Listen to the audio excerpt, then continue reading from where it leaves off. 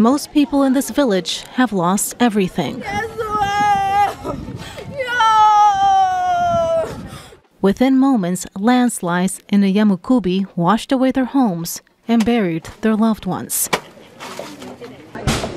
To mourn properly, they say they must first recover their relatives' lifeless bodies. This water has swept away all of the houses and people have died. I've lost seven children and I've only recovered the body of one of them. We're still looking for the other six. Next door, a mother and three children died. We found our neighbour who died with her three children in her arms. Similar stories of loss and tragedy now echo across several villages. My whole family has disappeared. It was swept away by the waters. My neighbours are also gone.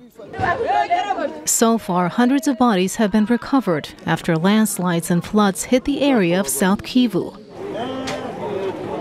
Villagers are working side by side with rescue teams to try and recover more. Among the victims are many children.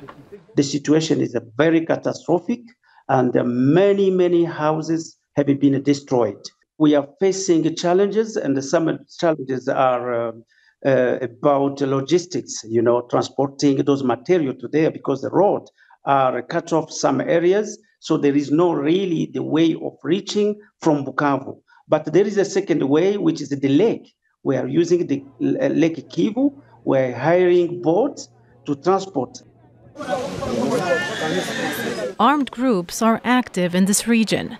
Crises like these are further hampering the delivery of aid including medical supplies, to those in need.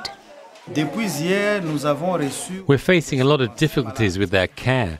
There's not enough medicine and medical essentials, gloves, syringes, compresses.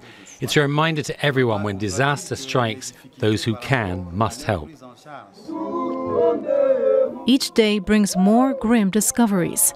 Several families must now start their lives again, having lost much that can never be replaced. Katia Lopez Hodoyan, Al Jazeera.